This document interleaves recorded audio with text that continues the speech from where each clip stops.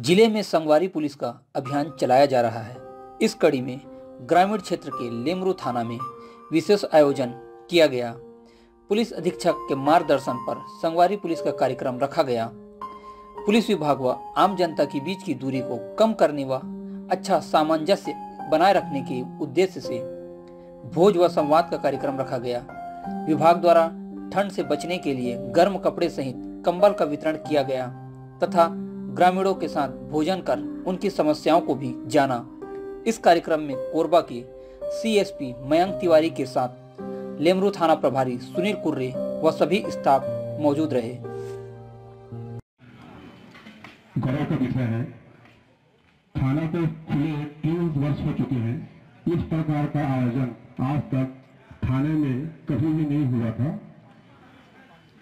जो आज संपन्न हो रहा है। इस कार्यक्रम में आप लोग को आना हमारे लिए बहुत ही सौभाग्य वाली बात है। धन्यवाद।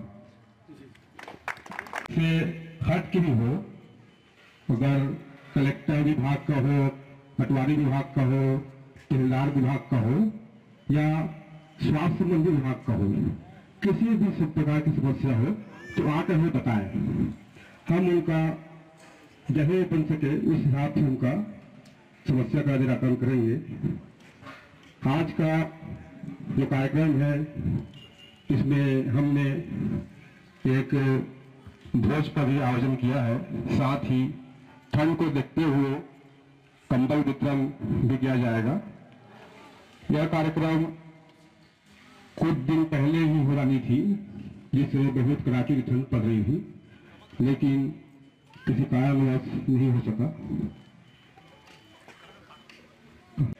ताकि आपके समय बचे, आपके पैसों बचे और सबसे बड़ी दिक्कत की बात है कि पुलिस की डर है, वो डरो न लगे। काबर यहाँ काम कुछ कम है, अपराध उसका हवे नहीं।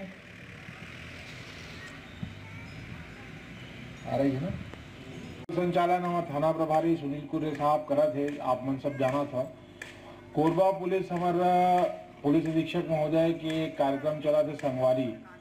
अब सभी जन जाना तो छत्तीसगढ़िया में तो संगी सब बने रही थन हमला आपकी ज़रूरत है आपला हमारी ज़रूरत है तो सबले बड़े बात है कि गाँव में अगर कुछ घटना हो थे, या घटना होए के सूचना भी है कि भाई हमन आपस में हमन नहीं बना थे तो जाके पुलिस वाले साहब मन संग बैठ के थोड़कन बात कर ली। का पता हमार मन मुटाव दूरिया हो जाए और हमन उला कम कर ली। ये सब सोचत हुए ही हमार थाना में ये प्रोग्राम आज रखे हैं हमन संगवारी पुलिसिंग के तहत। के रख सकत हन और हम आगे पहली बैदाज में होला। आप मन की बात करे के मौका मिलिस। खाना बन